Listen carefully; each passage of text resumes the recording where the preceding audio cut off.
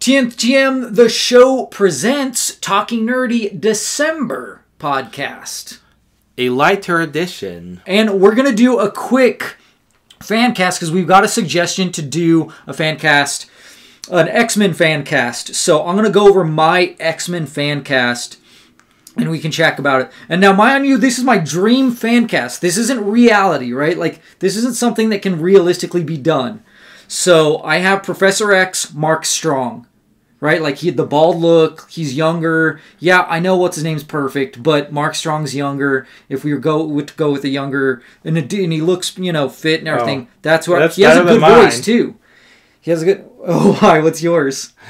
Oh, Walter White for the win. nice. Uh, he could. Uh, I could see him like pull out. The only problem with Bryan Cranston is he doesn't really have a British accent. Yeah. Well, I mean, I'm sure he could try. I'd, Yeah. I'd be interested to see if he could do one.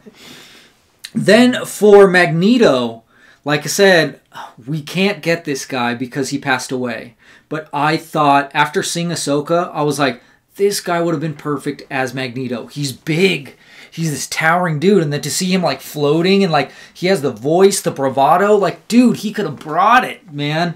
Oh my gosh, he would have been perfect. Cause like I love Ian McKellen, so yeah, I just uh, you know from the from the comics and from the cartoon, he's this jacked, broad-shouldered, tall, you know, dude, and I just think Who, who I would have loved, perfect. unfortunately, is no longer with us. Hmm.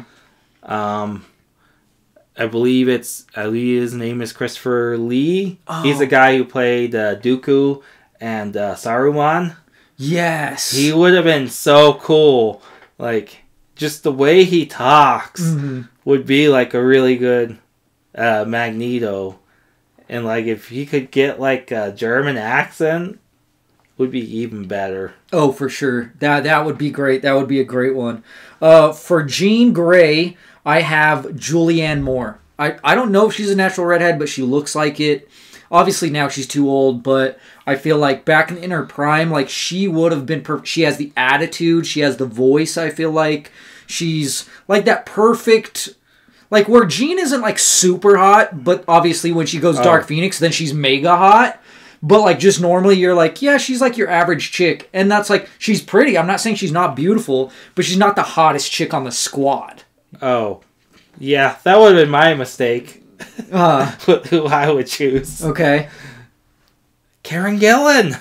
Oh, dude. But the problem is, she would be Way too hot. the hottest one on the squad. There's just no competition with that. Yeah. Unless you uh, wanted to include uh, Miss Sparkles, trying to think of her name, Taylor Swift? Jubilee. Oh. Yeah, then you could have Mila Kunis as Jubilee. Hmm, I never thought of that. That's an interesting that's an interesting She, one. she could look the part she could. She could. very easily. Uh, for Wolverine, I have Bob Hoskins.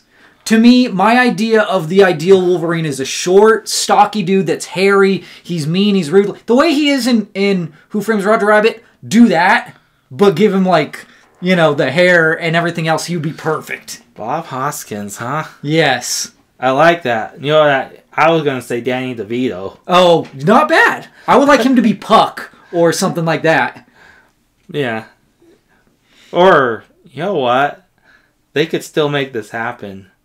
You know what? Redeem MODOK with Danny DeVito Yeah, that would be funny. That would be really because funny. he he does funny really well, Mm. but his funny's great because he's always so serious, Mhm. but the way he delivers it is so good. Oh, for sure. which would be perfect for MODOK because my issue with MODOK is they don't have these people playing him seriously. Mhm. But like MODOK is a funny character, but he's also like the way he sees himself, he's super serious. Right. And so like Danny DeVito could pull that off. Yeah, yeah, for sure. Um, Cyclops, I have Jensen Ackles. He's a big dude. He has I like I love his voice in the boys. I mean, even his supernatural stuff, I feel like he's he's a, he has that good leader type. He's handsome. Like I feel like he's that he, to me he fits the mold from the cartoon, right? Like that dude. So that's that's who I would go with. Younger. Let, let me take let- let's put it this way, it would have been a younger Leonardo DiCaprio. Okay. pre R-rated movies Huh. like Titanic Okay. era. Interesting. He he he would be cool. Okay. Um, and then for Be I, for Beast, I couldn't come up with anybody better than Kelsey Grammer. Like, can you? Like, I, I was thinking of like big dudes that could fit that, and I'm like, you know, John Cena has a goofy like beastly build, but he doesn't have that. He doesn't have that the rest of the beast with him. I don't think he could pull it off. You know, like there's other people I was trying to think of that like is there anybody that's like jacked and looks beastly, but has that same like they seem brilliant. You know what I mean? Like that. So I, I don't know. I can't think of anybody better than Kelsey Grammer. I can't. Yeah, that that's a tough one because he's so he is like uh, the perfect character Mhm. for Beast. Just the way he talks and everything really sounds like the way you would hear Beast Right. talk exactly. in real life. So speaking of having the voice, I know she's already in the MCU, and once again, like I said, this is just a Dream fan cast, but I think Angela Bassett w- would be perfect as Storm. She has the voice, you know, especially like if you would have gotten her, you know, her younger, like like I said, this is pretty much like everybody kind of like in their prime. Well, no, I mean Ray Stevenson, but yeah, yeah, I think Angela Bassett would have been perfect. You know, because I was even looking up like newer actors, and I was like, I can't find anybody that would be better. You know, so that's going to be a tough one to do better than I think Angela Bassett would be. I would go out on a limb on this one. Okay. Maybe maybe got to do some makeup to darken her up a little bit. Rosario Dawson. Hmm. Interesting. I mean, like I said, I, I you have to have the African accent. You know, Yeah. Angela Bassett can do it. I don't know if Rosario Dawson has the chops. We'd have to find out. Yeah. Uh, and then, or Egyptian, right? Because she wasn't she like in Egypt. But yeah, anyways. Uh, Rogue. This one is a hard one for me, but I ended up with Alexandra Daddario Hmm. because like I was like, who's a brunette? And like I was trying, and I'm like, she has she has the build. I think she could put like I. She's a solid actress. I think if she threw on the the southern accent, I think even now to this day she would be perfect. I I got a better one for you. Okay. Anna Hendricks, top, solid actor, knows how to knows how to play character. She's done action roles Okay. and she pulls it off. You wouldn't think so because she looks so sweet and innocent, but that's still kind of like what ha- what you kind of see with Rogue. hmm Like you're thinking, oh, she's not gonna be that tough, and then she ends up being tough. Oh, the little girl, right from Pitch Perfect. Yeah, Oh, okay. I don't know why I was thinking of. Scott Pilgrim's sister. Okay, yeah, yeah, yeah. Okay, that makes sense. I was thinking of what's the lady she was in Firefly, and then she was like the bad girls. Um, I forget, but yeah, I was thinking of her, and I was like, no, she would be a better Jean. But anyways, uh, yeah, she actually could be really good.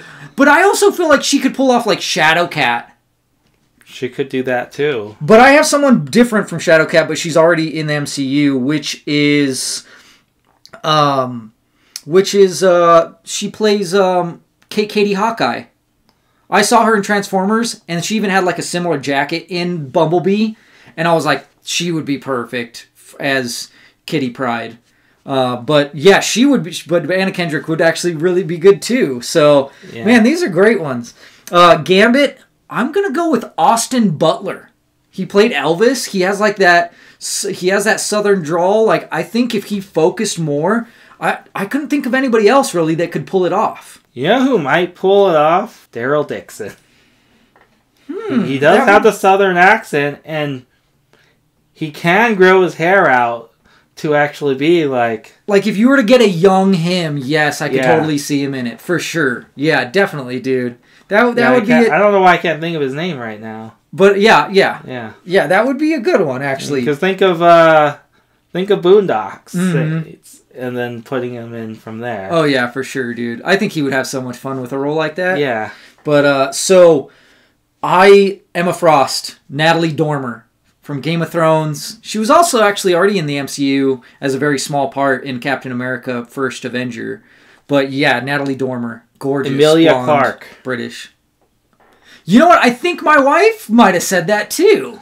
And I was like, ah, you know what? She's cute, but I don't think she's hot enough. But that's just me personally. So, uh, moving on, Psylocke, I would go with Zhang Ziyi if we're going with the with like well because there's different versions right? There's the british one and then she and then she transfers her mind into the to the asian one. So i was like there's different versions. So i guess i should have come up with two different ones because british like you know it's that one's tougher for me. But yeah zhang is my i guess the asian one you know when she transfers her mind into the asian chick i don't know. Um but yeah. And then um, Mystique, I have Rosamund Pike because I was like, who is someone who's just like a psycho bee? You know, like in my mind, I was like, that could just pull that off, and that's her. She was. She did that one movie with Ben Affleck where she was like the wife and she faked her own death. So she was a psycho bee, and she was she knocked it out in that. Um, I yeah. would have done uh, uh, Mary Weinstein. Is, is Weinstein is that her name? Ramona from Ramona, really for Mystique. Yeah. Okay, interesting. Because uh, she plays a lot of different roles. yeah. Like uh, you know, she's actually has parts in horror movies too. Mhm, Yeah. Uh, let's see. Then we have Apocalypse. I would go with The Rock, dude. I, just because he has the build, you do the makeup, you do the suit right. He, I think if he does the attitude right, he could do it. You know, like it would Yeah. be very different from him. But espe- I mean, you'd probably have to alter his voice a little bit, not huge, but just a tad, so he has that you know thing. But I think he could pull it off. Or just leave the voice. Uh, Yeah, I mean, if he can bring it, do just his regular voice. If he can bring it, for sure. Uh, this one's kind of just wild and out there, which I said for Toad, Jack Black. I just because like I've seen like a portly looking Toad that's just like goofy, you know, does this like the spitting globbits. Uh, but yeah, I don't know. That was just random. Jack Black for Toad. yeah. I don't know. It was random. Um, oh, Hailee Steinfeld. That's her name for for um, Kitty Pryde. Uh, Iceman. Um, he's not well known. He's not a well known actor, but he's uh, Dacre Montgomery. He has that like rich boy, or not rich boy, but you know, just I, I, I personally like the uh, what they've done in the comics with Iceman, where they go like, oh, he's gay, you know, and he's just discovering it, whatever. Because the relationships he's had in the comics, dude, like he overdoes it. Like the way he talks to chicks, you're like, dude, this isn't how normal dudes talk and act towards chicks. Like this is over the top. This is how a gay guy would act towards a chick that was trying to act straight. You know what I mean? Like Yeah. the whole his whole time in comics. And so I was like, that dude, like he's young, he has the look. I think he would he would pull it off. And then moving straight into that, uh, Archangel slash Archangel uh, Lucas Till. I'm like, he has to be like an uppity rich white kid, but it's also still nice and sweet. You know? Macaulay Culkin. yeah. Free drugs. Obviously, like, yeah, that works. Um, for Mister Sinister, I have Javier Bardem. He's been a great villain so many times, dude. I think he could pull that off. He has this great accent. I think he could do it. David Tennant. Yeah, Yeah, yeah, yeah, for sure. he, he makes he does good villains. Yeah. Uh, and then this is the last one I have. Uh, Sebastian Shaw, uh, James Fran for or Frayne for Sebastian Shaw. So the more you dwindle down, that you're going more obscure. So it's kind of like harder. Well, hopefully we'll have like reference pictures because even I don't remember exactly some of these because I had to search hard for these. But yeah, so that's that's it there. Uh, someone also wanted uh, a little insight on the Rise of the Beast GI Joe crossover. Now that the uh, strikes are over, I think they will be moving forward with that. I don't know if we're gonna, I because I have read reports that that they're going to be going forward. I don't know in what capacity. I don't know if the Wayans brothers are going to be in this one. They're coming back, or if the Rock's coming back. I would, I'd love the Rock in the GI Joe movies. I, I those the second the later ones I thought that were pretty solid. I would love to see a crossover with the two, but the way that they did like the end of the most recent Rise of the Beasts, they had a similar suit that they did in the other GI Joe movies, and that's why it seemed like it was going that way. But then they kind of undid that, so I don't know. It's it's it's confusing. We'll see if it actually fully happens. I think it'll go forward now that the strikes are over, so we'll see. But yeah. Um, I mean, I, I would rather see them team up with Kiss. the the Transformers with Kiss would be way cooler. okay. You know, Kiss has teamed up with just about everyone. Yeah, right. Even the Ninja Turtles. Uh, And, that's uh, crazy. Martians. They fought the Martians too in Mars Attacks. That's wild. So we are rocking our merch like the finest merchandise this side of the River Jordan on sale today. Come on down. Look at this. Yes. Combination hookah and coffee maker. Also makes chili and fries. Will not break. Will not. It broke.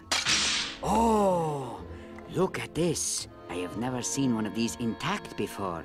This is the famous Dead Sea Tupperware. Listen.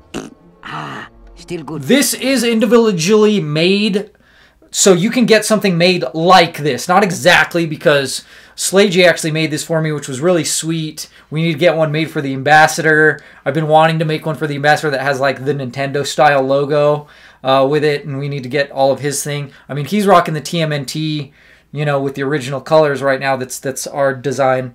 Uh, but you can get stuff just like this and same thing like the similar with the shorts like these are basketball sports shorts like you can get the same stuff on our website. Check it out at tntmtheshow.com right now for our merch of the month we have doctor who indiana jones probably to throw in some pokemon and that stuff the actual stuff that says talk to me that stuff 17.99 free shipping as well since it's merch of the month and then um and Doctor Who stuff. And I'm add we're adding stuff throughout the month. So keep on checking out the website for new stuff all month long.